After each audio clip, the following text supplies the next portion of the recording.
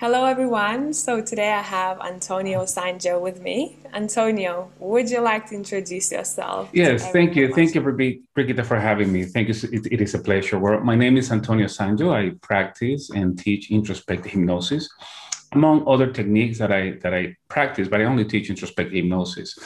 Um, I live in Charlotte, North Carolina. I'm originally from Peru, South America, but I live in the US. Um, other techniques I practice is quantum healing hypnosis technique, uh, Life Between Lives uh, by Michael Newton, and Past Life Therapy by Jose Luis Cabouli. Mm-hmm. Awesome. And Antonio has one book out already, which is in the background. Would you oh, like to talk about this a little bit? Sure. Um, so the title of my book is My Soul's Purpose. And, and, and I talk in the book, I talk about my journey and how it changed my life, how I ran into hypnosis, how I found my, my purpose as practicing hypnosis, uh, helping not only my clients, which are incarnated souls, but also disincarnated ones, right? Uh, what we call spirit attachment, lost souls. That is how I found my mission. I'm sharing a little bit of my journey, but at the same time, uh, I'm sharing cases, I'm sharing concepts of spirituality, And my idea is to motivate those that um, want to start this path of being a, what we call ourselves light workers. We're here to be at the service of others. And my book was written to, I mean, for that purpose, to encourage people to follow this path. Mm-hmm. Yes. And, you know, since I started talking about introspective hypnosis on my channel, I started getting quite a lot of messages asking about you because I'd mentioned you from time to time. Thank so, you. I'm going to ask you, you know, questions a little bit more about introspective hypnosis a bit later hmm. on. I'll also be sharing my experience that I had with you. Mm-hmm. I have booked okay. a session with Antonio myself. But before that, I would like to kind of backtrack and ask you a little bit about how your life looked like, what kind of career you had, and how you transitioned into introspective Ooh, or uh, hypnosis because you didn't start okay. with introspective yeah that is a long story i well i first studied um, I entered university to study business, business administration because that's what my father was telling me. You know, he said you need to be a business administrator, you need to take care of our business, our company. So that's what I did. But when I was up, I mean, in, in Peru is five years. After two and a half years, I noticed that this is not what I wanted. This is not what I wanted to do in life. I didn't see myself sitting behind a desk, you know. So um, I, I, I left that, and then I didn't know what I liked. When people told me um, I like my I like my job and and I like what I do, to me it didn't make sense because I had not found anything that I really liked back then. Then I started with computers and networks. So I started to be a systems engineer, computers and networks, and that's what I did uh, for some time until um, December 31st, 2018, when I decided to switch to hypnosis full time. I was um, I learned hypnosis in 2013, starting with Dolores Cannon, and I was practicing after hours. So I was working my, my full time job, 8:30 to 5 or, or 5.30 sometimes. And then after hours, I would be facilitating sessions or on the weekends or during my vacation time. So that's what I was doing until the moment that in 2008, um, I, I was already teaching classes, but it was the first live class and big class, and we did it with Alba Weinman, my friend and colleague. And I was transformed during that week. And, and not only with what I experienced teaching to a, a, big crowd, we were over 40 people in the class, but uh, we received the gift of healing. Uh, two of the uh, demo sessions, people obtained healing right in front of everybody. And I, I, I, I, taught that class during one of my vacation weeks. And when, when it was time to go back to work on Monday, I turned on my computer. I had this overwhelming feeling like was telling me, What are you doing? And I was not paying attention to it. There was a voice telling me, What are you doing? You're here to do things um, that have more meaning, not just we working in front of a computer because that's what I was doing. I didn't listen to it. And it, I, actually took me two or three days to start paying attention to that because I was getting sick, I was getting headaches, back pain. And it got to a point where I said, I surrender. That's it. I, I cannot keep doing this anymore. I cannot keep fighting this anymore. I'll accept. I'll do whatever I have to do. If I make a mistake, if it's a mistake, then I can look for another job. I had been working for this company um, for 12 years, right? I look for another job, but um, I prefer to make this change now than wait until I'm I'm 65 or retire and said, oh, I should have made that change back then. So I trusted the universe and my life and the life of my family changed completely. We started with the classes. Alba was assisting in some of these classes. We were both teaching these uh, classes from time to time. Um, I kept doing the online classes, online sessions. We started traveling to different countries until COVID hit. But yeah, that's that's what I was doing. I mean, if you want to know how I got into hypnosis, it was a different story. What is that story like? okay, so I was always exposed to metaphysical topics through my father, and I explained that in my book. Uh, my father was reading different books. One of the ones that I remember the most was Many Lives, Many Masters by, by Brian Weiss. And he was talking to me about reincarnation. He was talking to me about what the book was saying, right? And even though I was not paying that much, much attention, in my mind, I had no doubt of that concept. It made complete sense to me. But my father, my mother is very religious. She's Catholic, and I, I was raised in a Catholic school. So um, even though my religion was telling me that doesn't exist, deep inside of me, it said, oh, this makes sense. It makes sense. But I didn't pay attention to that. Then, when my mother in law passed away, um, my wife came back because she, we went to Peru. She came back and she brought some of her books. I'm talking about years and years ago, right? Uh, I mean, we're talking about the, the time when my father read that book and the time that I got the book that used to belong to my mother-in-law had been past many years. It, and it was the same book, Many Lives, Many Masters. My wife said, Oh, I brought this book. Maybe you find it helpful. And I started reading that book and I read it in one day. And after I, I was done with that book, I said, This is what I want to do. So I started searching online. That's how I ran first into Aurelio Mejia. I watched a lot of his videos. Um, but he was not training back then. He was not teaching classes. I was not able to travel to Colombia back then because I was working my full time job. So uh, I started with Dolores Cannon. A friend of mine talked to, told me about Dolores Cannon. So I trained with Dolores Cannon, level one, level two. I met Alba in Alba Weinman in the level two class. But then I was able to destiny, I guess, I was able to host Aurelio Mejia here in Charlotte in my house for six days. And that's how I learned um, what he, he was not calling it introspective hypnosis. Um, but that's what I learned. I learned the method, method from him. And then I've been making adjustments as I learned more things. I implemented more things. I changed the style a little bit, but it's basically the same concept. That's how I ran into hypnosis and past lives and, and, and dealing with lost souls and all that. Yeah, and it's interesting that you said that because I was about to ask you a question. Was there some sort of tie or something that happened in your younger days? Because at least what I'm observing from people around me, I see that there is a connection to what people's mission is somewhere in the childhood. They came across something, they used to like doing something, they lost yeah. it, they came back to it. Well, um, when I was uh, when I was like 23, 24, uh, I actually got divorced from from my wife back then, who is my wife now, because we got divorced and then we remarried some time later, right? A few years later. So uh, during that time, I went to visit a, a friend of my parents and my um, uncles and aunts, and this guy used to his his name is. Um, Miguel, they call him Lito. So he used to read, and I don't know if he still does it. He should be in his 70s now, late 70s. Mm, he used to read the Egyptian Tarot. And I was, I went looking for guidance. I didn't know what to do. I felt lost. I like, had no, no, had, had lost my path. I didn't know what I was going to do in life. I was confused. I was 24. So he was telling me, um, you have this card and this card is, means your personality. And he said in one of the cards, this card means the Son of God.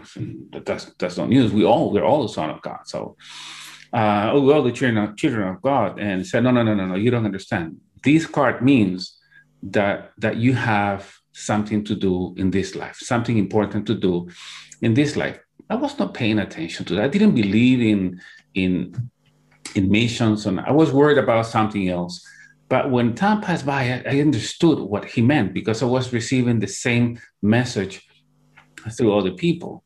And even uh, during some time where, where the company that I used to work for was laying off people, right? Um, one psychic told me, they're not going to let you go. You are leaving because you're gonna you're going to resign because you're gonna be doing this. You're gonna be teaching.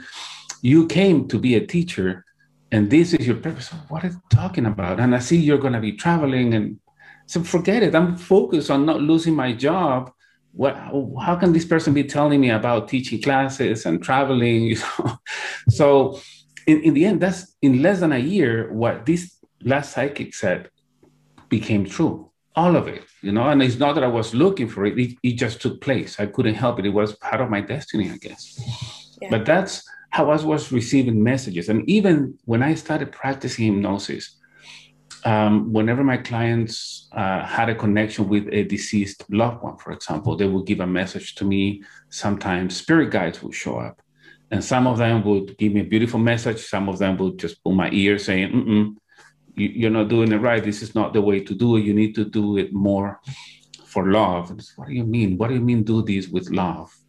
until sometime later I understood. And when I, once I understood that what we do during the session is with love, and even when teaching classes, it changed my sessions completely and the energy and the results, obviously. It's, it's in my book, and I actually talk about it there because when this this spirit told me as through my client, right, you need to do this more with love. And what are you talking? Are you talking about a discount? Are you talking about doing this for free? What What do you mean love? I'm do, facilitating a session for a client.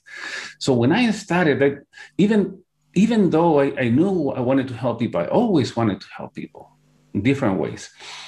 I didn't understand what this soul was telling me about loving my clients. And then another spirit guide was telling me, "You're forcing this." When I when I wanted to put my first class together the, and this is in, this is on YouTube actually. It's in Spanish though. When this guide is telling me, um, "You're forcing this. You, you're forcing this. Is not your job." What what what the guide meant is, this is not that you can create a business plan and you're going to put people together. And, and the spirit guide said, not everybody has the gift. Like, don't force it, right? And then I stopped it. I said, okay, I'm not going to force this class. I'm going to not talk about the class, but then uh, a few months later, that class, the first class came together by itself and it was it was beautiful. So yeah it was always the message about doing it with love and doing it from your heart and and just embrace your gift you know? Yeah. And what do you love about this concept of introspective hypnosis yourself?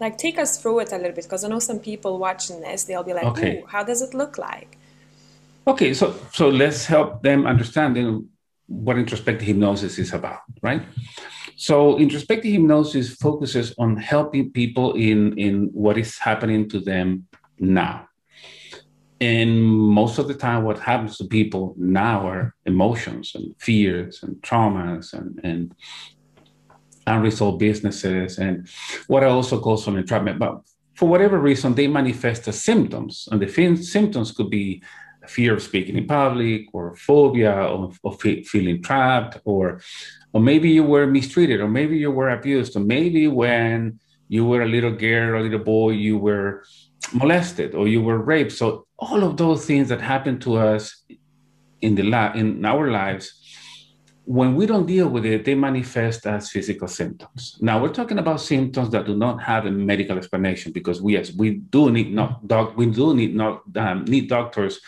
for many of the things that, that we have.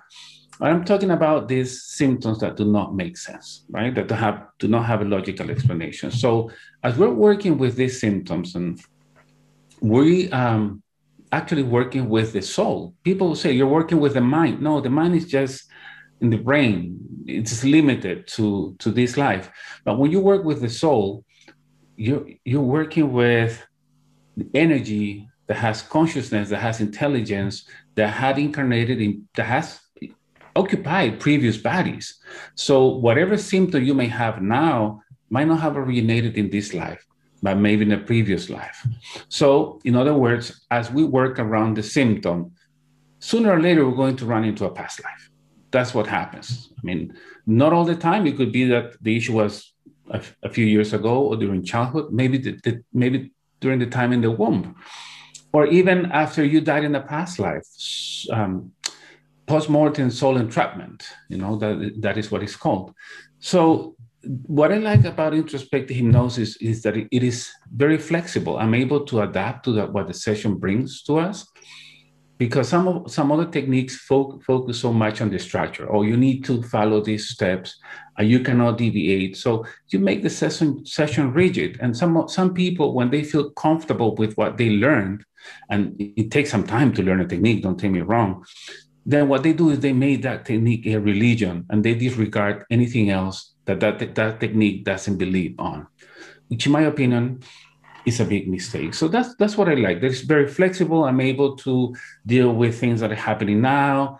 And if that issue happened during the childhood, then you go to childhood. It's, this, it's your soul that is going to take you to that memory. And we're going to work with that memory. If the issue started in the womb, then that's where we go. Is your client who's going to take us to different places? Yes, the idea is to kind of follow initial structure, but in the end, it's your client that is going to take you to different um, events, and, and you need to know how to apply the techniques that we use in introspective hypnosis. That, that's what I like about it. And the fact that we, we don't only help our clients, which are the incarnated spirits that come to see us, see us sometimes they come with attached spirits, lost souls, and we need to help them too. That's what I like. Yes, I really love that you're able to give that lost soul a voice. Because I yes. know there are other ways of, you know, spirit releasement, but in my opinion, this is one of the most powerful ones because you can actually allow them to have a conversation. Exactly. And for them to tell you the story and to finish whatever is pending for them. Right, right. They, they're attached because they're lost for whatever reason. Maybe some of them didn't realize that their body died because the body dies, but life continues, right? The, the soul never dies. So they don't realize that their body died, maybe because of the way they died. Could be, um, I don't know, um, under anesthesia in an operating room, or maybe they were using drugs, a drug overdose, and and when they realize they're in another dimension, they don't understand what is happening. So, so they attach to our clients and they're confused. So we're giving them, as you said, we're giving them a voice. We're helping them understand what happened to them. If they're looking for revenge, then maybe they had an issue with the client, which I call the host.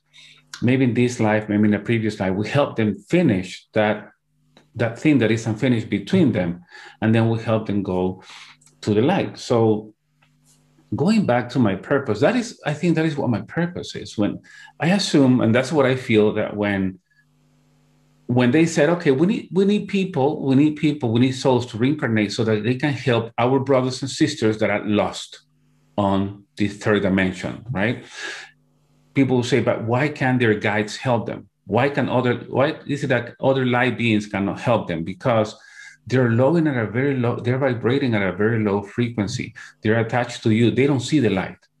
So we need to help them from here. And once they see the light, you have a different team. So it's a team effort. You have a different team that takes over and takes them to the light. So yes, that's what I think is is my mission. Not only uh, teaching and facilitating sessions, but helping these, as you said, souls that don't have a voice, that some other technique ignore, and some religious treat them as demons and maybe insult them and ask them to just go away without even understanding what happened to them and what they need. Yeah, that's really important. I love that you touched on that. It's not like it's not about church, you know, leave. Right. we cannot we cannot do what we do through any. I mean, using any religion, and I respect all of them, but but I cannot apply religion in what I do because my clients have different belief systems. So if a client that is Catholic comes to me, I'm not going to use term from another religion because it's not part of their reality. What we do is we get into our client's reality to help them. You know, um, my idea is not to change them to my reality. I need to adapt to theirs. Yeah for sure. And you know, uh, to give people an example when it comes to lost souls, I I'm gonna talk about this story that unfolded during my session with you. Sure. So I came to you um, when we talked about some things that I want to bring to the session. I said something, and I remember the way I phrased it. I said every time I sit down and to work on my laptop computer, it feels like I'm rushing ahead of time because it seems like I'm gonna run out of time. So that was the key point that I remember that I said without really consciously realizing what it means. And then I said I tend to have a lot of tech issues. Like my laptop starts heating up sometimes, even turning on Google Chrome, you know, it's just like mm-hmm. it's crazy. Things switch off, and it's especially around the time when I'm when I need to work on something. I remember mm-hmm. there was a very intense time during my study years when I was still studying architecture. I had to do, I had a submission, and I had literally mm-hmm. 20 minutes left for me to submit my work. And everything that could go wrong did go wrong. My tech, company's tech, uni's tech, it was it was awful. So okay. I was struggling with it for as long as I remember. And that was something that I brought to the session and the last memory that I went to was I started seeing like a like a screen in front of me, and a lot of programs would start closing off really quickly. And then you mm-hmm. would navigate me through the session, and you asked me where I'm at, I am next, and then I, I realized that I'm in my friend's house. We're having a girls' night out, mm-hmm. and this was the memory of this life. Uh, that's what you used to we used to do, and they were asking me to tell one of the stories and you said what is the story i said i don't really want to tell them that story because every mm-hmm. time i do something happens and i did tell them that story the stories they would be interested in is about spirits or what i used mm-hmm. to see and things that would happen with tech or electricity and I told them that story. I remember we were in the living room and the, the lights started flickering. So they all ran to the kitchen, kind of laughing, kind of scared. And I was like, oh, I told you it's going to happen. And it did. And next thing we know, I you told me to go a bit further. And I couldn't settle for one home. I was drawn in between two homes. One where I was raised and the other mm-hmm. one where we moved to later on. Mm-hmm. And I kept being pushed and pulled towards those two. And you said to me, you asked, what is it that is calling you to the home where you grew up in? And straight away I said, a spirit. And that's where my grandpa passed away. He mm-hmm. passed away um, in a corridor. He has he had a heart attack, and that's when I realized that all the tech problems were to do with my grandpa's spirit.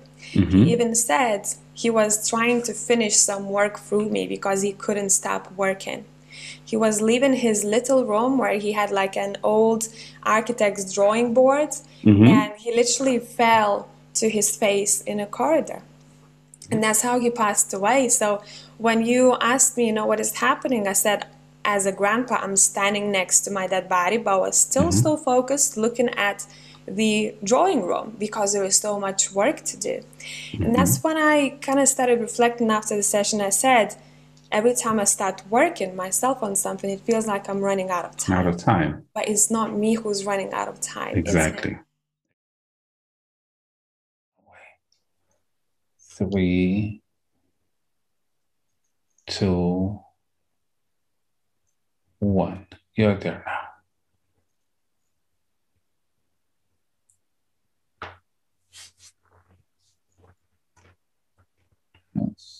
What is happening now? I keep being pushed and pulled between two places.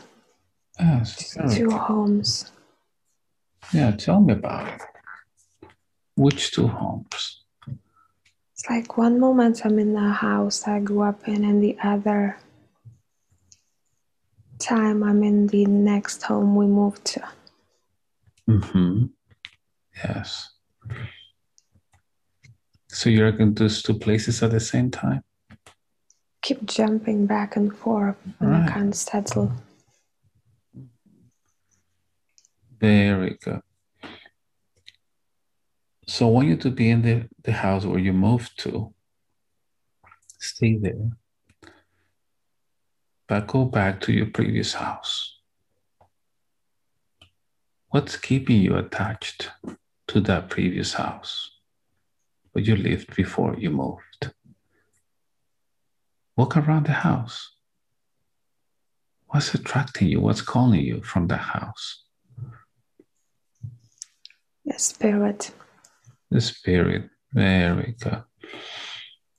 So walk around the house and let me know once you find the spirit.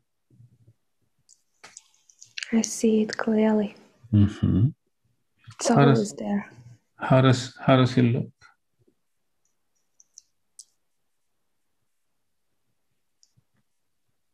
At first it's black, but then I see it shift into Yes. a man who's dressed in smart clothes. Very good. So let's talk to this man. Ask this man who he is. He says, I know. hmm So if you know, tell me who he is. It's my dad's dad. Is your dad's dad? Is your grandpa? hmm Very good. Ask your grandpa why he's there.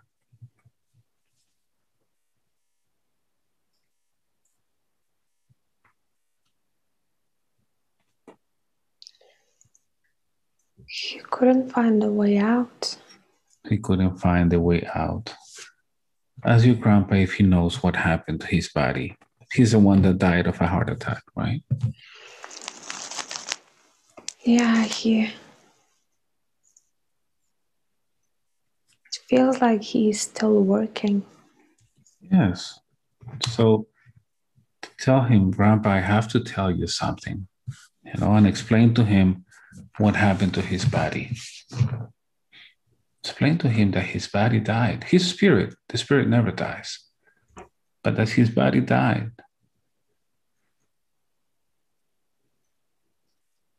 He keeps saying that he's addicted to working and there was Yes. so many things to do.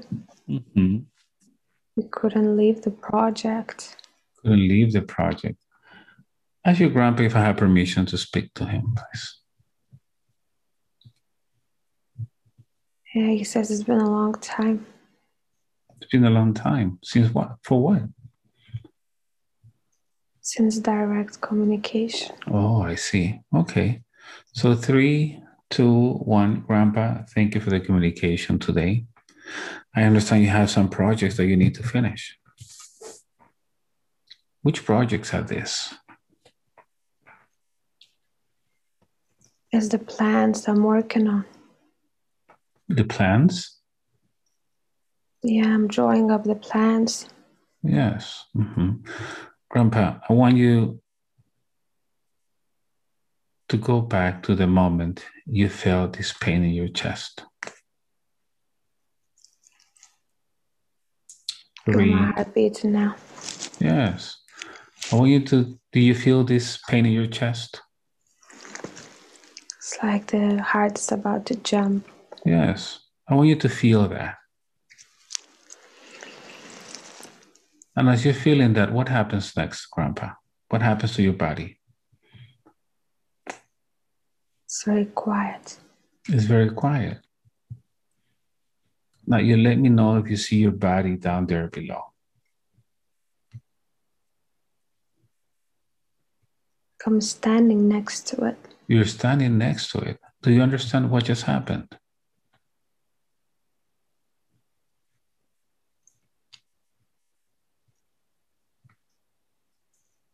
Does it make sense that you're standing next to your body? Yeah, I keep looking to the room, my Mm. work room. Yes. But look at the body. You're standing there in the workroom, but your body is on the floor. It doesn't make sense, does it? Yes. How can you be standing and laying down the, on the floor at the same time, right? So this is what happened, Grandpa. Your body just died. And you're a spirit. You never die. And the proof is that we're communicating now. The proof is that you still think you're working on the plans, even though those plans don't exist anymore. Nobody's in that house. The house doesn't belong to you. Brigita has some of my stuff. Yes, okay. But maybe she can look at it, maybe she can continue those plans later. But it's time for you to go to the light. What's preventing you from going to the light?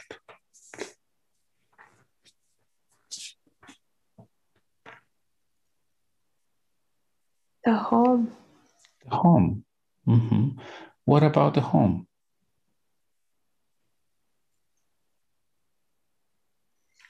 There is so much more I should have done. Who says you cannot do it? You can go to the light and you're going to be born again. And you can continue working in other projects. But being a spirit, there's nothing you can do. Brigita is not in that home anymore. There's other people, right? And then yes. and then you're close to Brigita, and then your energy is making all these uh, tech devices act up. So she's having an issue. She's not able to complete her work because devices don't work properly, and that's because it is your energy. Even as we as, as we started visiting this event, the camera flickered for a moment, the one that we're using now. So it's causing problems. What is the purpose purpose of you staying here, causing problems to Brigita? Unintentionally, but it's causing problems.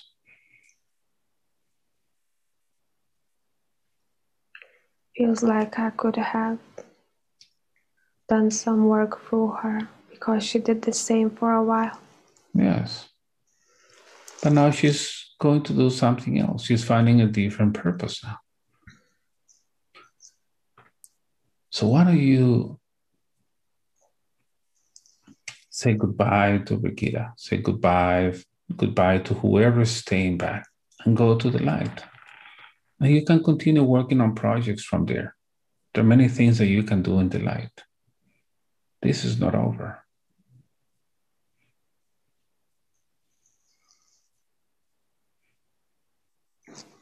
What would you like to do, Grandpa?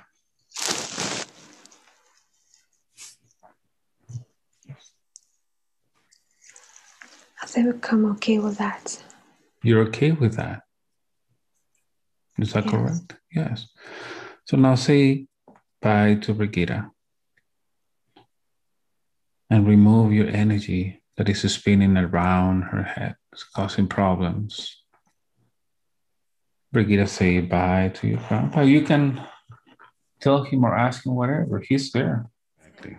Exactly. So, so, so Isima, he's the one that was always bringing you then to back to the house, your soul, right? Because back to the house because hey, the same, we have things to do, right? Yeah, it, it is important what you said because one of the things that take time to understand uh, while you're learning and practicing hypnosis is that time does not exist.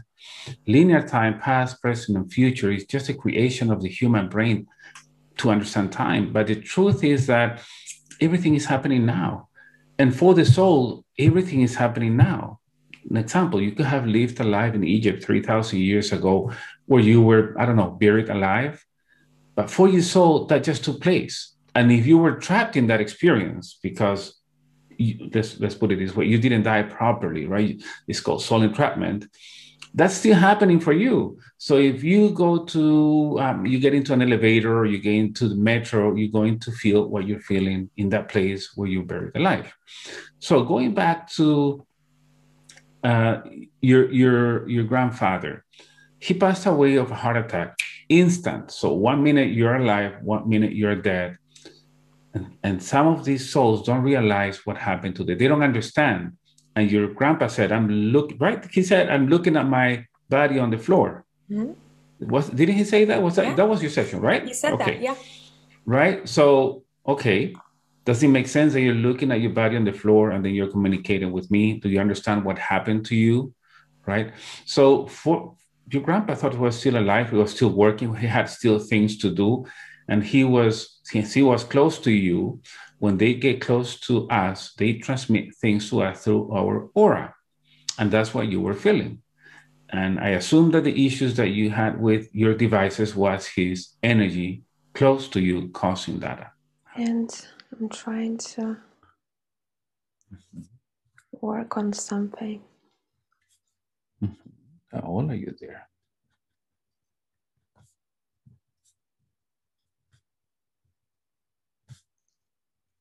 It feels quite recent. Yes, very good. Continue. What happens next? Like everything just stops working. Everything stops working. Yes, like what? What stopped working? Like I'm seeing a lot, a lot of programs shutting down one after another. Mm-hmm. Programs from where? Seems like it's on the screen. On the screen? Yeah, it's like on my laptop or. Mm. Yes. Mm-hmm. But the screen is much bigger than that. Mm-hmm. What happens as the programs are shutting down? because I want everything to work normally. Yes. I get tense. Have yes. Have you had any other issues with your devices? Um, my computer is not heating up that much unless I turn on like four programs. Okay. Then it's normal for it to do so. But it's been very quiet. It's been very good so far. Okay. And during the session, um, it was my last memory I went to. I my eyes were going so fast when we got into that memory. At one point, I kind of have opened and closed it, and mm-hmm. I could see it as clear as day. The grandpa, I knew it was mm-hmm. him. It was just like a shadow, right next to where I was laying down. Mm-hmm. And since I couldn't, um, I didn't know what was happening on the tech side when we were talking during the session you even said grandpa i saw the screen go black mm-hmm. you know you mm-hmm. causing these issues yeah so everything ties in so so nicely and i went the next day i visited my parents and my dad was really close to to his dad but the mm-hmm. the grandpa passed away way before me i wasn't even born he passed away mm-hmm. pretty young and yeah. I was so I was drinking tea and I was so curious because I know the exact layout of the flat where I grew up in. Mm-hmm. And I was just wondering, like I never want to check, you know, the sessions whether something is true or not because I take the healing part of it. Mm-hmm. But there was that urge, and I was like wondering where was Grandpa's working room. And I didn't even have to ask that. My mom was the first one to say that to my dad and she goes, Oh, I'm just wondering, you know, where was your dad's working room? And he goes, In the little room. And I was mm-hmm. like, there, there are three rooms. He could have worked in any room, really. And I was like, did he? Uh, do you know anything about you know how how he fell and things like that? Because I'm so sure I knew exactly everything. And mm-hmm. he's like, yeah, he fell on his face, face in the kitchen, and that's exactly how I saw him. So there are things that I couldn't have known. It was mm-hmm. him transmitting that information, you know. Interesting, yeah. That that's what happens. Now we even talked about your career, right? Because yeah. you didn't meet you didn't meet your grandpa. He passed away before you were born. So we I even asked you. I'm wondering why you chose to be an architect. He was close to you. He was bringing you back to his room, right? Yeah. I'm wondering why you chose to be an architect, for example, right? Yeah, I think there was a nudge there. And I and my dad said said was there a lot of project that he left behind? He said, listen, he was helping students with their projects, and he was mm-hmm. also he said it was around 30 or 40 projects that he left behind. So no wonder oh, wow. he kept working because yeah. he was one of the most famous uh, architects in this city of mine. So there was a lot to do, and he kept saying there's so much to do. There's so right. much to do, right? So, right. So so we were talking about the symptoms, right? And, and how these symptoms do not make sense. You, you said one thing during the interview, which actually raised a red flag. A red flag. I didn't. I'm not going to tell you the other things that I could be that could be causing that symptom, but I, I decided to pay special attention and feel that I'm running out of time.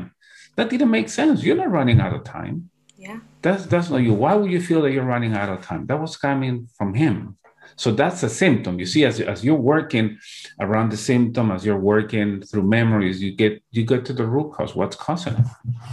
Yeah, and there was one more beautiful um, thing that was said there, where I don't remember how he expressed himself, but he said it's been it's been a while, and you asked what what was that, and he said that I had a direct communication because I used to communicate with him, but just having that voice for him mm-hmm. and that communication mm-hmm. was super important mm-hmm. and that's why i appreciate it so much for giving those lost souls a voice and for them to share and to understand what's happening yeah. yes yes i well, this all started about lost souls and giving them a voice obviously when i was watching aurelio's videos and then when i trained with him I shadow, actually shadowed him. He was not teaching classes. I was already practicing QHHT, but he was teaching classes. So I shadowed him for 38 sessions. We did 38 sessions in six days because he's wow. well known in the Hispanic community. So a lot of people book sessions with him. But when he, he was gone already, and a, a week later, somebody booked a session with me, and it's a lady from from um, Georgia that booked a session from uh, with me, Georgia State, right? booked a session with me and, and, and brought some relative with her. So as I was facilitating sessions, this spirit manifested. I it was my first solo introspective hypnosis, actually the second solo introspective hypnosis, but my first solo interaction with the lost soul. And I felt calm and I remember what I learned with Aurelio. So I gave this soul, lost soul, this attachment, a voice. It, manifested, if I'm not mistaken, this session number 10 in my channel, my YouTube channel. So I gave that voice, I mean, that soul a voice who had manifested actually as a pain in her foot. And that soul called my client's aunt who was waiting in the family room because I work from my home office. And to make the long story short, the, the soul was there to give a message to this lady saying, I'm sorry, I, I was killed, I didn't abandon you. The story was that this, this lost soul and my client's aunt were husband and wife in a previous life. He was killed, maybe in old times, right? He was killed, and this woman thought that this guy had abandoned her and the kids.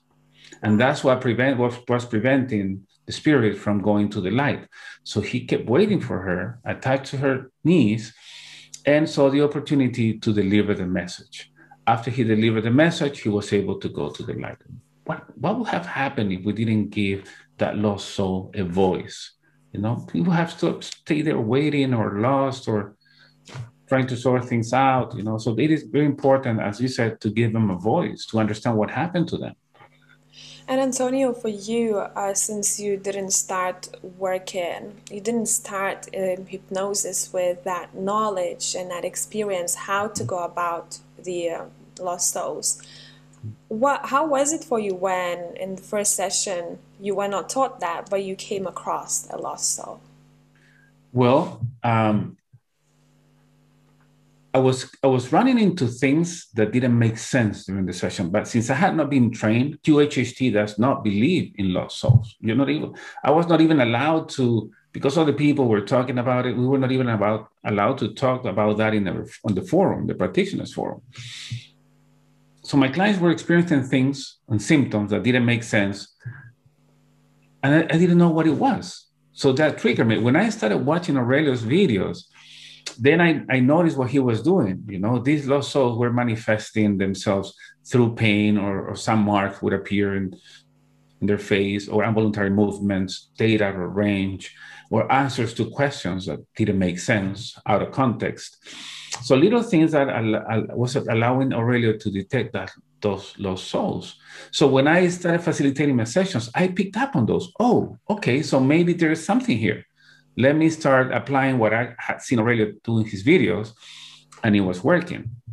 You know, but yeah, when I was able to train with him, is that I got all the knowledge, and then with Jose Luis Cabouli. So that is the big difference in what we do, Brigita. You took the class, you know, you know uh, how that works, and that makes the biggest difference in what we do. Yes. Some people don't understand. Some people um, judge us for what we do. I lost friends. Oh, you're talking to spirits. This is occultism. You know, I lost a good friend because oh, you're practicing this now. Mm-mm, I don't want to do anything with you. So um, we're misunderstood in what we do.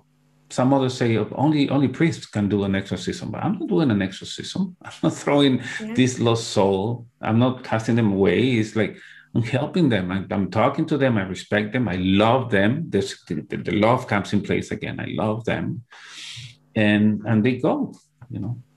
Yeah, that's that's really important. Just a couple of days ago, I had a session with someone, and the whole session I had to spend only on entity because it caused so much throughout such a long period of time that it was just, and you could see how a person's um, attitude changes yeah. You know? Yes. Yes. If you if I were, talk, were talking to you and, and that spirit, it would be very different.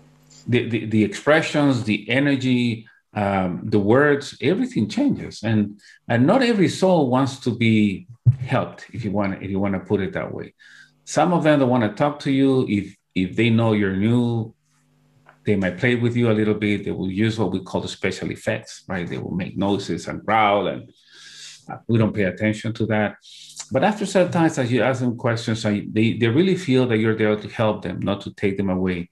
They open up. It takes time. You, one of the things that I learned actually with computers and networks was patience, you know, trying to find the right path for communication between devices. I, am, I was applying the same thing with navigating past life, navigating memories, and patience talking, communicating with these souls because they cannot go at our pace. We go at their pace. If they're taking forever, then there we are. We need to just keep talking to them and be patient. Yeah, that's very, very true. And now I know a couple of people watching this will want to uh, go for your teachings. So, mm-hmm. Antonio, how often are you planning d- during a year to do your classes and to allow people to come and learn with you?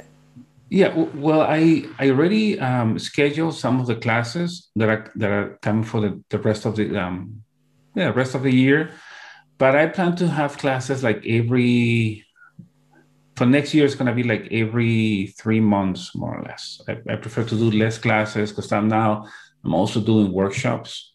We're talking about soul entrapment. We're talking about um, healing the feminine, the wounded feminine energy, and then I'm working on an advanced technique class that I'm going to um, advertise soon. So um, there's going to be opportunities if they go to my website. Um, we have my website, antoniosangio.com. Um, I will link if I want to put it there. Yeah.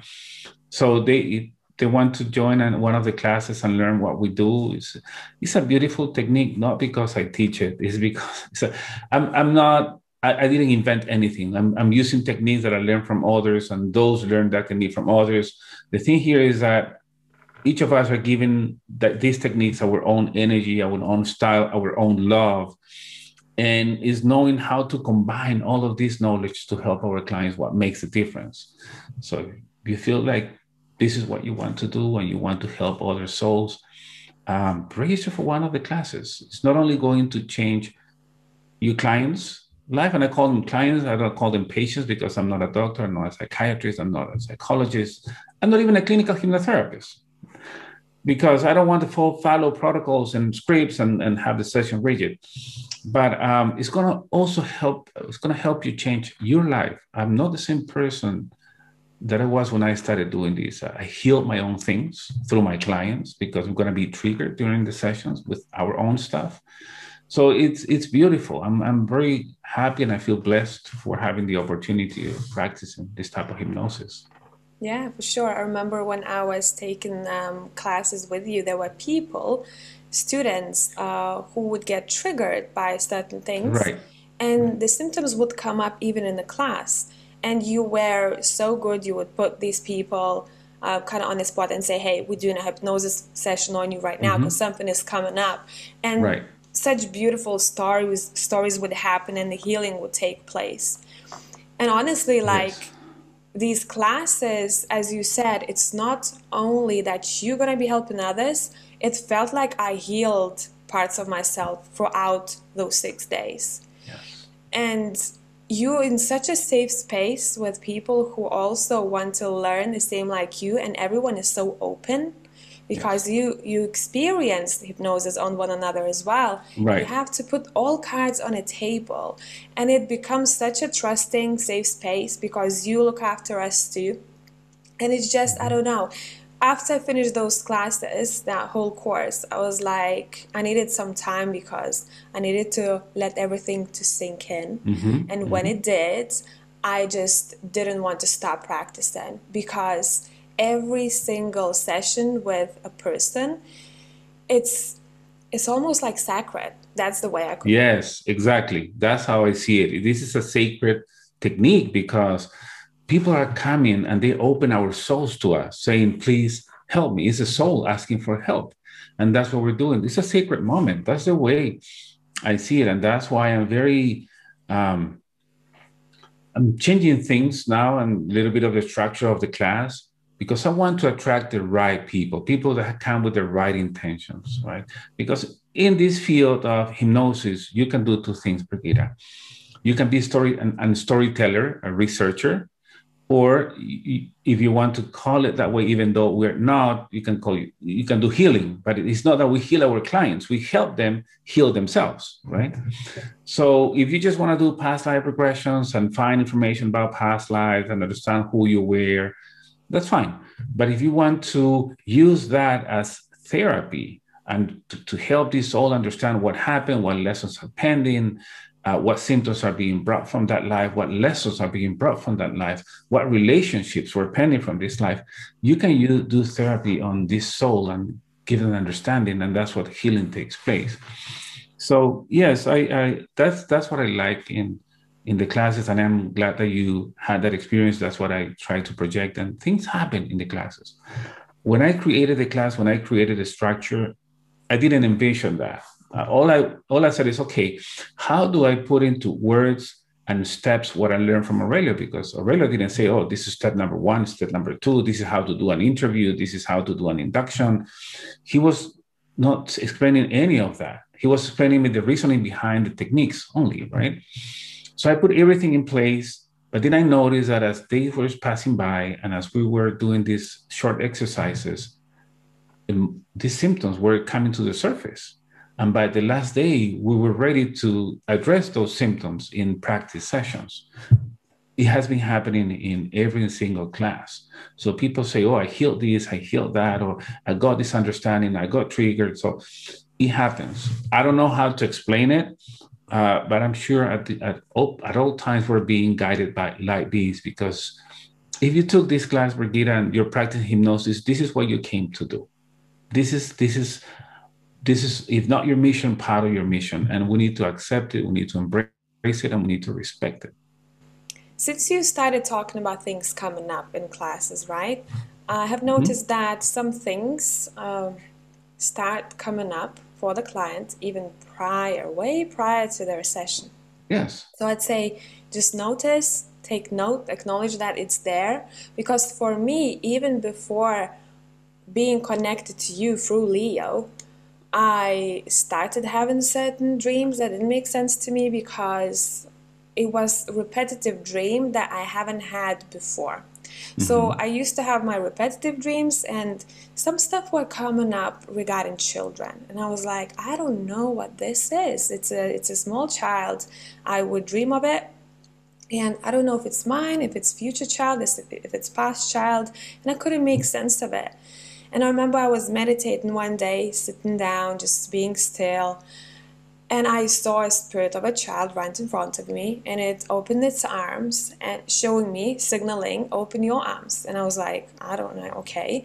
So with my eyes closed, I opened my arms, and it went straight into my belly, almost like with that hug, you know? It went straight okay. into my belly. And I have no idea, I started bawling, crying so much. Hmm.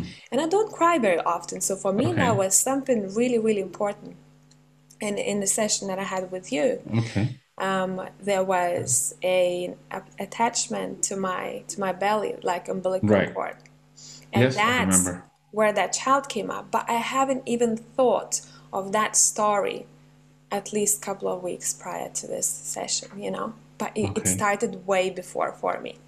Yeah, we started working. We started working with that, and and then you came up with the explanation yeah. I feel right. I you felt and you understood the connection of that energy with you.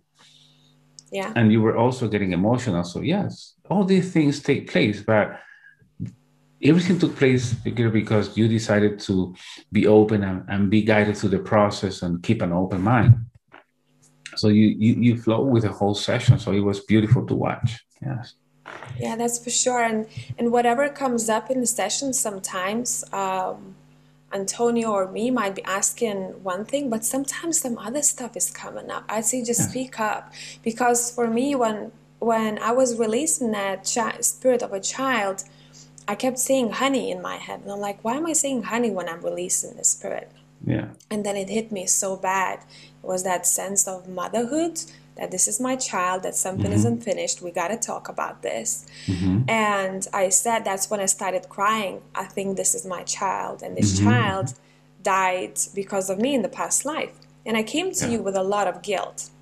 I said, I give you an example. I said, Antonio, you know, as if I took, um, I borrowed a, a, pen from someone, and yeah. if I broke it by accident, and I phrased it like that, I'd feel as if I killed someone yeah and and and and to me that symptom didn't make sense. You see i feel guilt all the time. Mm-hmm. have you done no i don't know but i feel it. So that symptom doesn't have a logical explanation but it was coming from there for example you see. Yeah. Yeah. Awesome. So yeah. you are working on second book right now. Yes yes. The uh, spanish version is already published in amazon. I am working on the translation to english so Spanish is, is my native language, so I write in Spanish first. And what is the name of it in Spanish? In Spanish is Guiando a las Almas Perdidas, which translates to guiding lost souls. It's helping spirits go back to the light through hypnosis.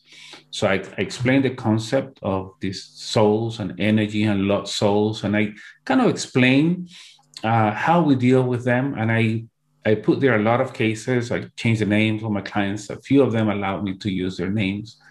Um, but I basically explain what we do and how we do it, why we do it, and how to help these lost souls. The reason why I um, I decided to write that book is because I wanted I was referring people taking the class to other books.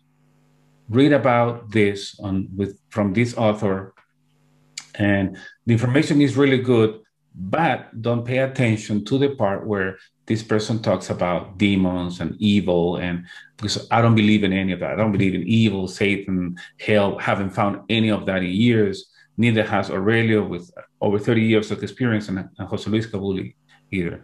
So I said, okay, who who can come up with a book that can um, help others that are learning this? Because a lot of people want to learn how to work with spirits. And that's for a lot of people, that's the main motivation why they take the class. And I said, okay, I need to write about this. I need to write about this and create kind of a manual or a guide, and, and I don't know what you want to call it. And that's how that's what that is why I wrote that book because not everybody is going to be able to take my class, but hey, maybe they can if you're practicing hypnosis and, and you want to understand what we do, read that book. It has a lot of information. Um, and I, am I'm, I'm, I'm sure a lot of people would, would benefit, and a lot of lost souls will benefit from that if you learn that. Yeah, I'll link both of your books down below. In, in the spirit world, right, there's no right or wrong, bad or good, and there's no there's no evil. So I see there are no good and bad spirits. There are spirits more evolved than others. There are, this a different level of evolution. So let me put it this way, right? Let, let's say that you were you were a you were a bad they're gonna call it bad person in this life, right? Even though there's no good and bad, I don't see it that way. And once you die, you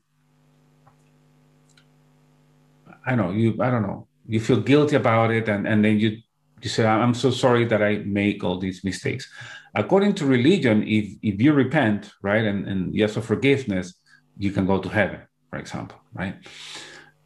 Now, if you have somebody that doesn't know about anything about religion, that doesn't know anything about karma, um, was born in, in, in a geographical location that doesn't know anything about this, and what they do is kind of the normal, you know, and, and treating people this way or killing people, or are you going to judge that soul that didn't have the knowledge? Are you going to send them to hell uh, forever? You know, because was killing people, didn't know. It, so, in other words, how can we judge spirits for not knowing? You know, there are different levels of evolution. One is if the spirit know, if you know you're doing wrong, then yeah, there's there's there's karma, which I think I take it as the law of balance. You, you're going to experience what you make others experience is cause and effect, right? But if you don't know what you're doing, and and and, and how can how can people judge you how can other souls judge you and send you to hell that's that's the way i see it so it's different levels of evolution i don't see good and bad and evil because in the end everything is about learning this planet is a school called planet earth and we come here to learn and we come here to learn in ways in which we cannot in the spirit world which is through emotions, right? Once you have incarnated, you feel pain, you feel fear, you feel hate, you feel love. So you learn in suffering, but you also learn in love. So this is a school. Yeah. So it's very much about balance, and it's about I think that um, idea of victim and the offender. You, right. you already know what I'm going to be talking about, so yes, I'd just like yes, you to yes. expand on this.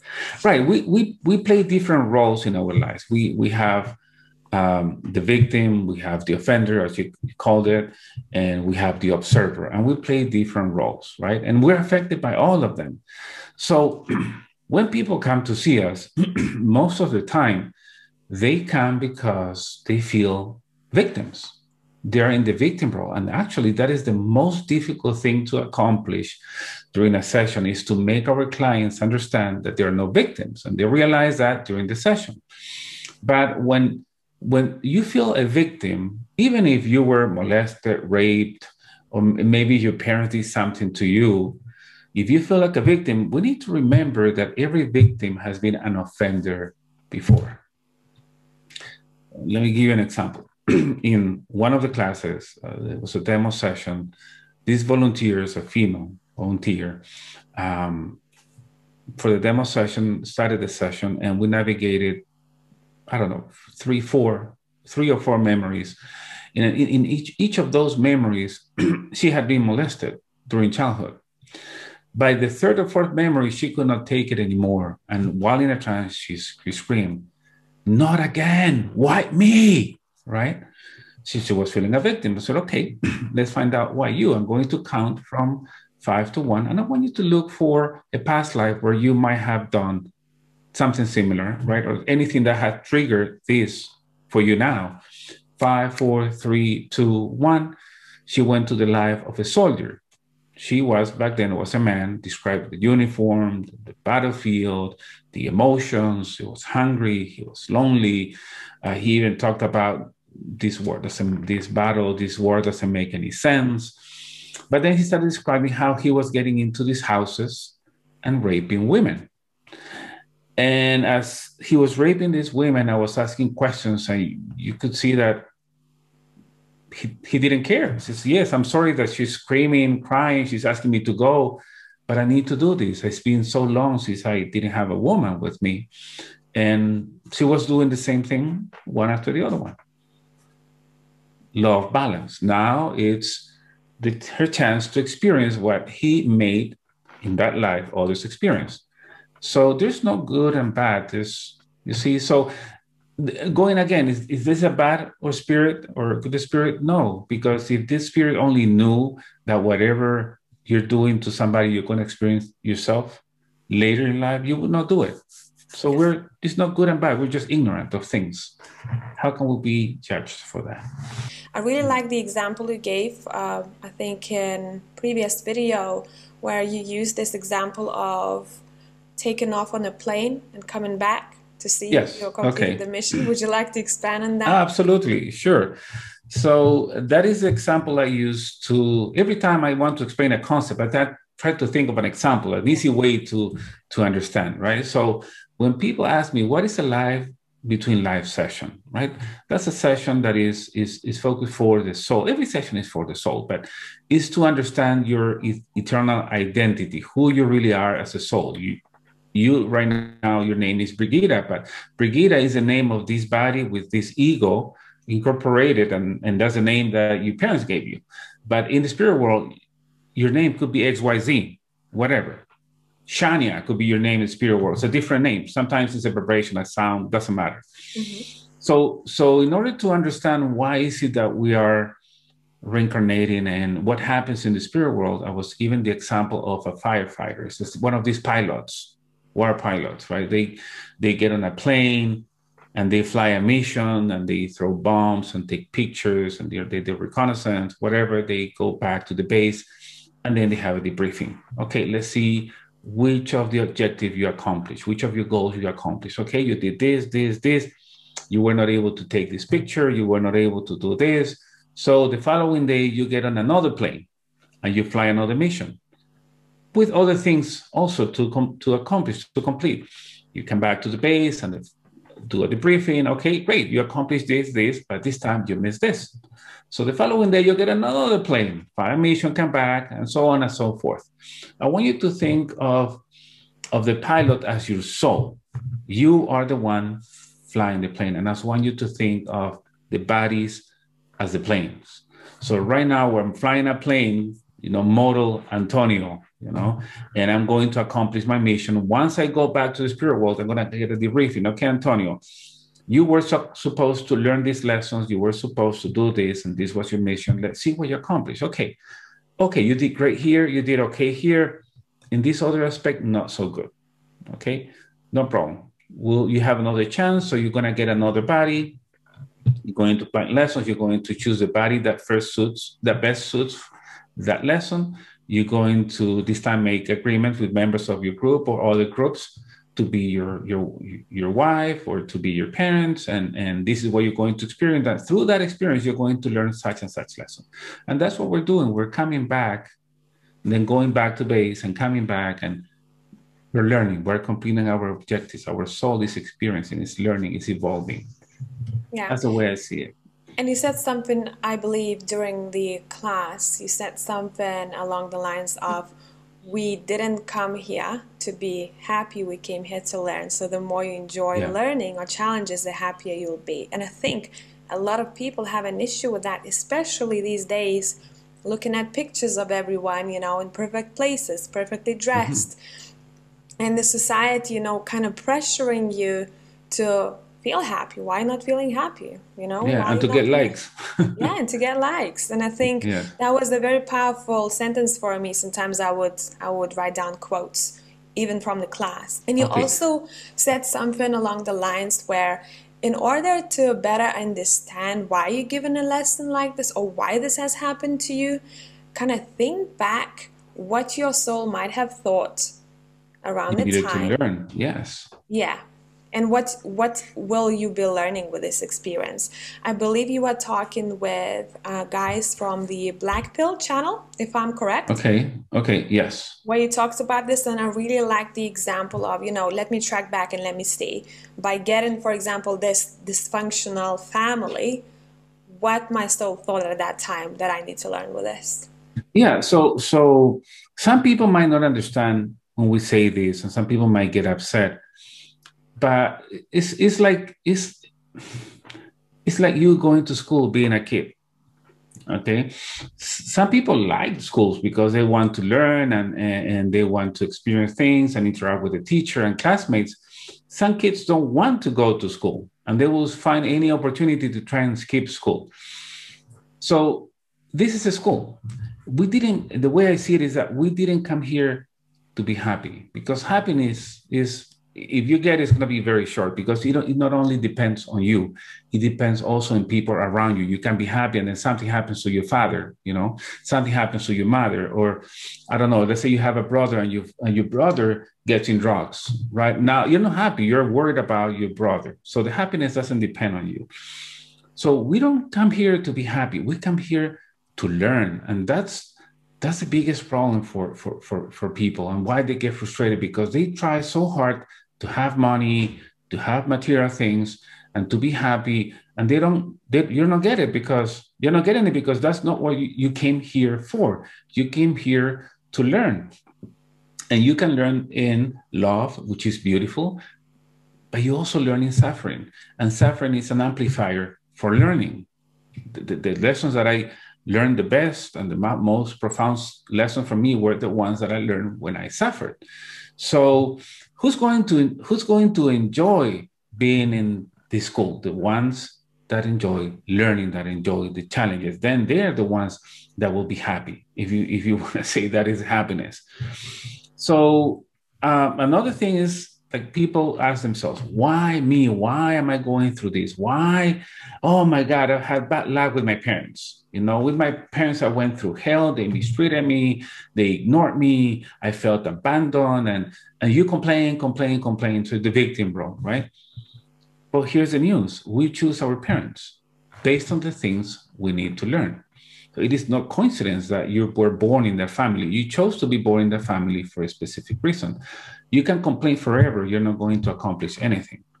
But if you stop and said, okay, let's assume for a moment that my soul, my spirit, um, planned this lesson for me, that I actually chose, if you don't believe in this, that I say that I actually chose my parents.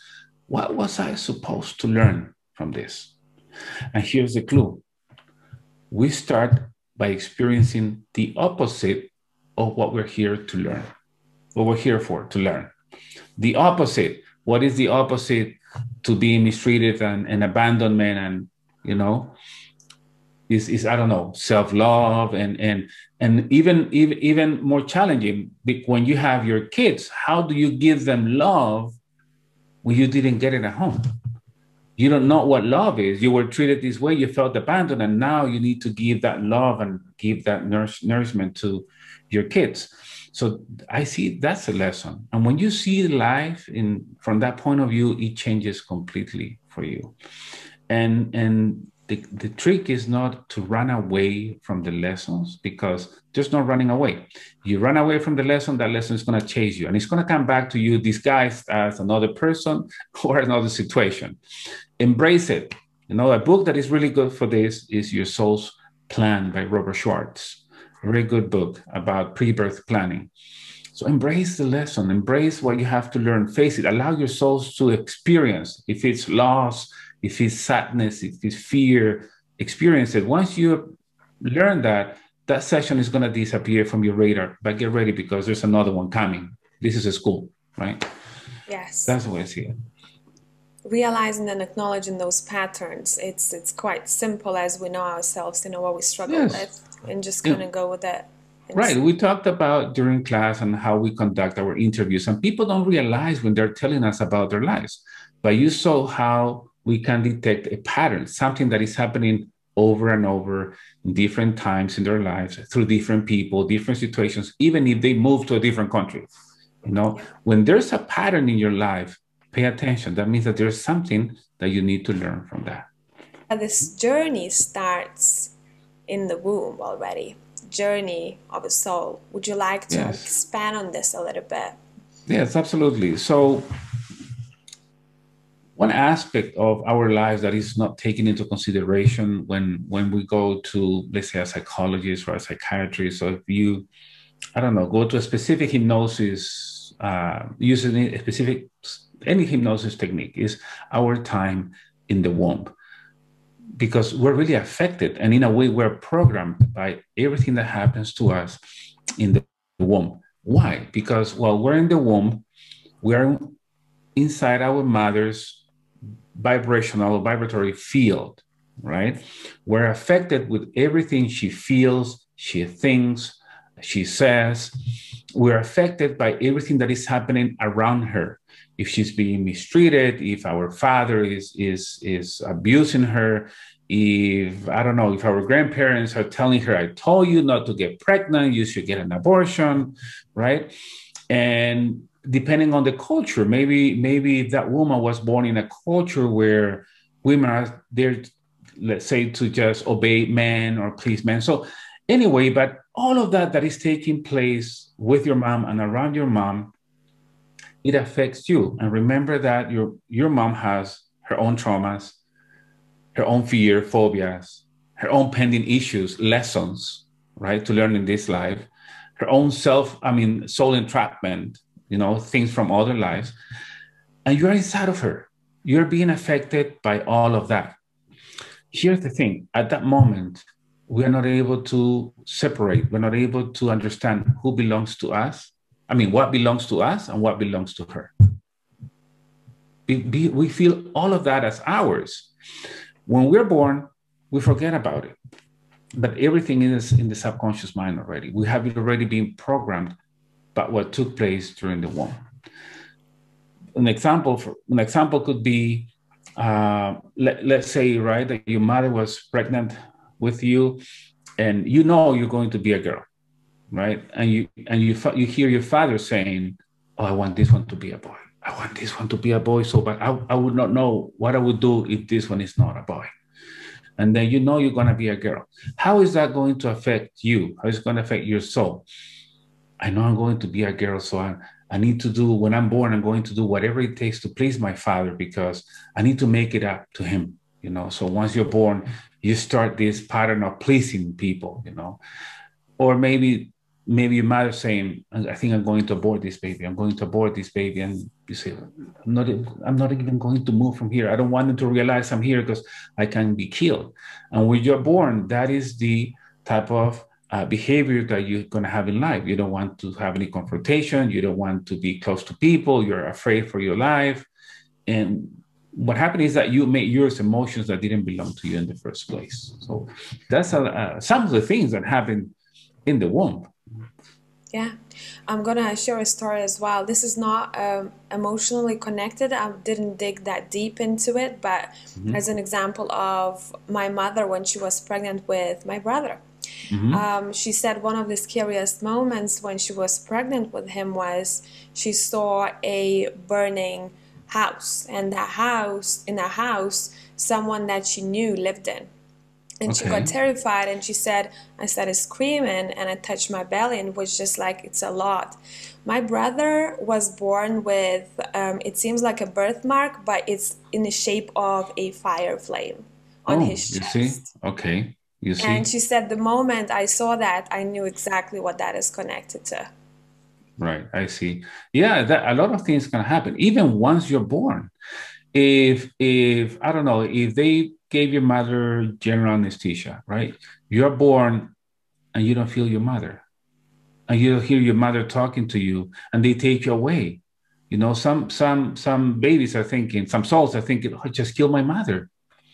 They feeling this this guilt, uh, this fear, or they were not able to receive the first hug from the mother as they were holding them. They feel the separation. So a lot of things, the way the way you're born if it was just natural delivery, if, if it was a C-section, all of that affect us, believe it or not. That's for sure. Thank you for, for sharing and talking about this. No now, people who will want to go and, and learn from you, mm-hmm. uh, would you like to just kind of condense it a little bit more? What can people expect to learn from you, even though I know it's on your website, uh, in yeah. introspective hypnosis? Mm-hmm. Well, uh, number one, get ready because it's it's intense. Um, you you experience this. I enjoy talking. You can tell. I enjoy talking. So um, I'll be sharing a lot of information during the class. And yes, I, I mean, I, I record sections, so not the whole class, sections of the class, but I give a manual. So what are you going to learn? mm, you're going to, I divided introspective hypnosis in six steps, starting with the induction. The, I mean, it started with the interview, right? The right way to interview somebody. An interview is just just not asking for the name and and what is it that you want to get during the session and what are your questions. There's a lot of things that take place during the interview.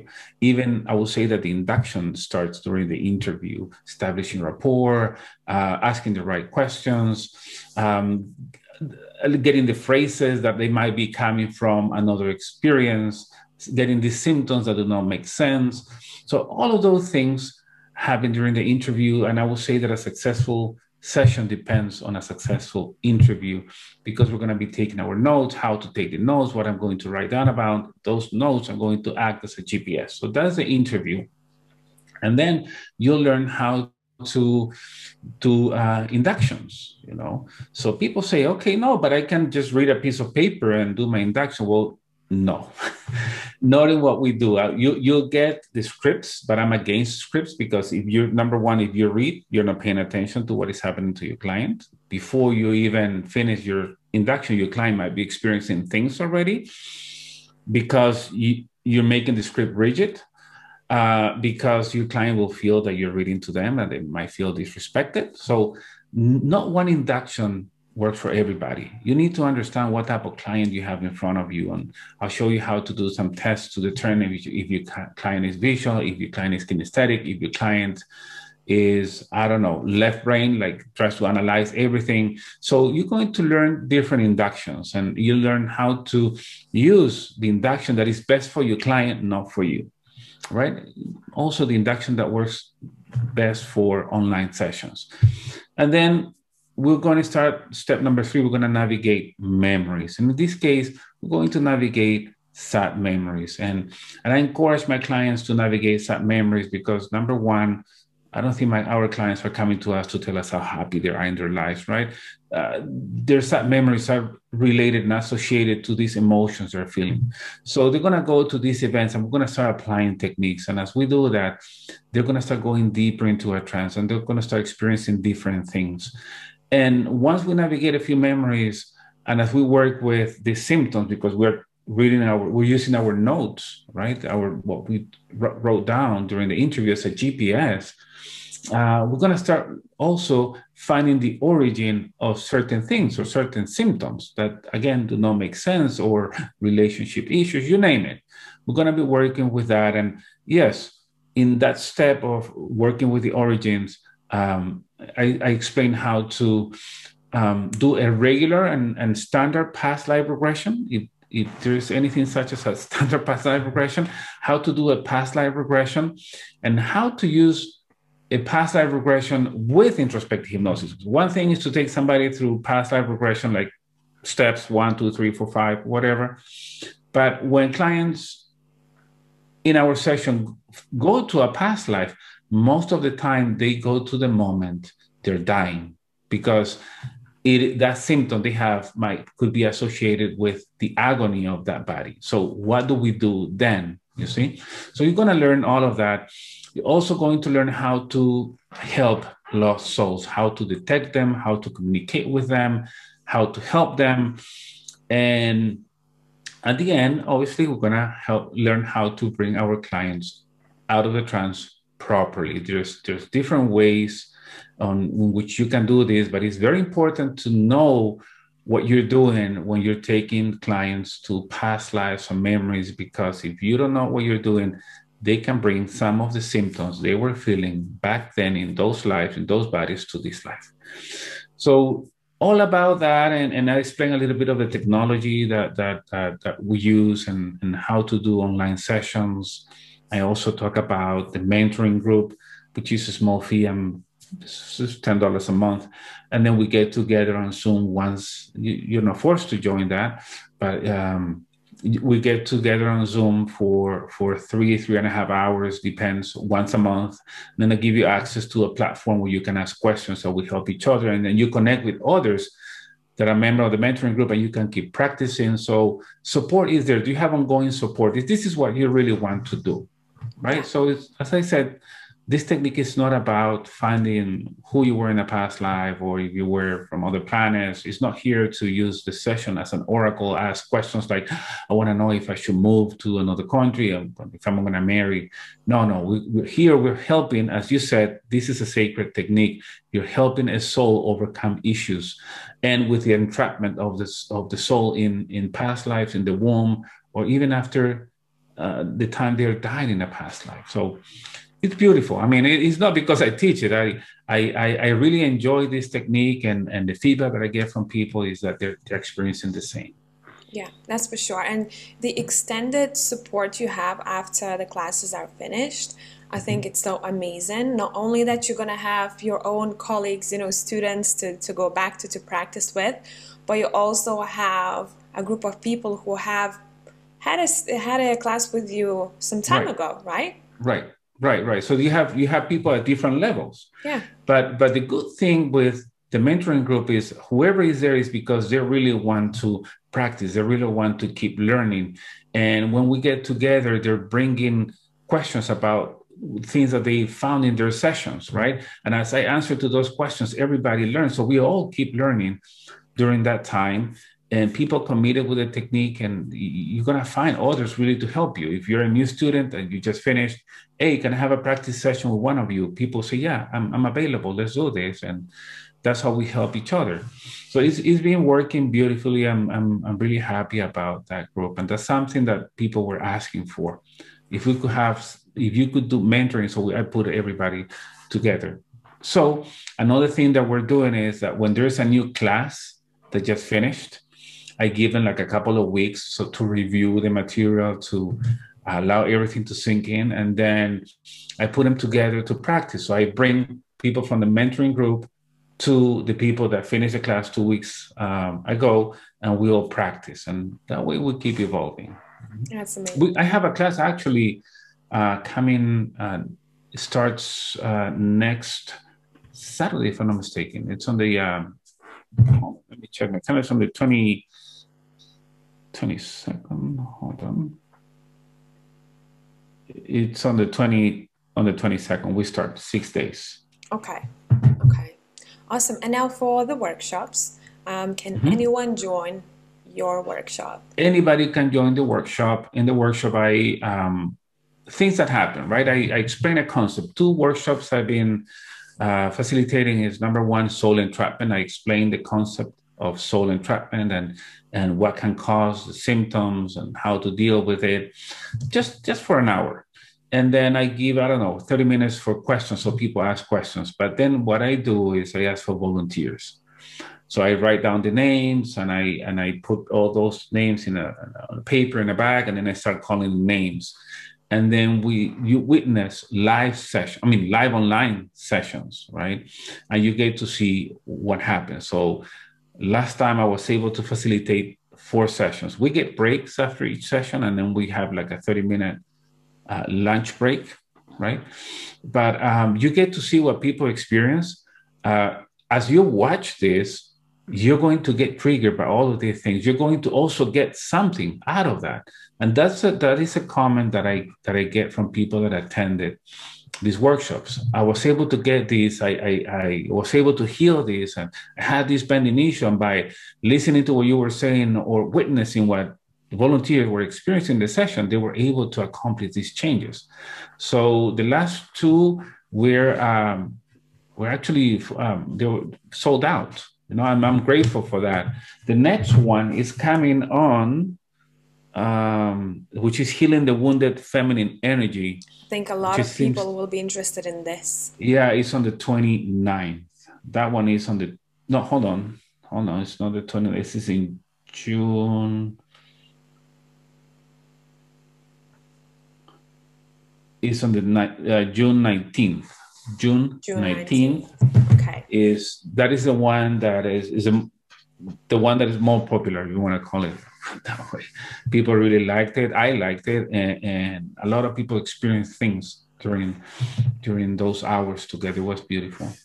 Awesome. And now, in case someone watching this have like an additional question now you haven't covered here today, um, are you able to give your email? Are you do you have time to respond to people? Absolutely, sure, sure. You can you can email me at info at antoniosangio.com. I'll put my name and my as last name, put it down. Or if you go to my website, there is a contact form uh, and and then you you put all your information and I reply to you if you have any questions, any doubts, if you have questions about the classes or the workshops. Yes, Yes. absolutely. And Antonio also has the YouTube channel that I'm also going to be linking down below. I Mm-hmm. think uh, it's it's very beneficial to watch some sessions Mm-hmm. that you have done and you have my session on your channel as Is well if there? anyone's Yes. interested to look at the whole story how that unfolded i think um, it's very eye-opening to see how everything unfolds and how it connects towards the end Yes, thank you. As, yeah, as I said, the, the channel was there not not to promote me, but to uh, bring awareness, so people understand that some of the things that they're experiencing might be coming from, uh, I don't know, time in the womb, past lives, or or or attachment, right? Lost souls. And I can I can talk about whatever. I can tell you whatever today in this this interview. I can write about my book and say whatever I want, but right there is not me saying it. You know, it's my clients experiencing it. So so go check. Um, and I'm sure you're going to find useful information and how you can apply that to your life. Sure. Thank you very much, Antonio, for coming on here and spending Thank you. some time with me. It was Thank a you. It's been a pleasure. Same. And we'll talk maybe in the future. I'm pretty sure I'm going to see you again in one of the workshops. And until then, sure. Thank you. Thank you very much, Brigita. It's been a pleasure. bye for now. Bye.